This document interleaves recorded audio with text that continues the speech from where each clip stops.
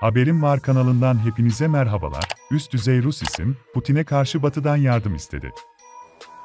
Değerli izleyenler, Rusya'nın Ukrayna işgali 173. güne girerken, savaşın uzamasının Kremlin'de paniğe yol açtığı yönündeki haberler artıyor. İngiliz The Mirror gazetesi, üst düzey bir Rus yetkilinin savaşı sona erdirmek üzere gizlice Batı ülkeleriyle temasa geçtiğini yazdı.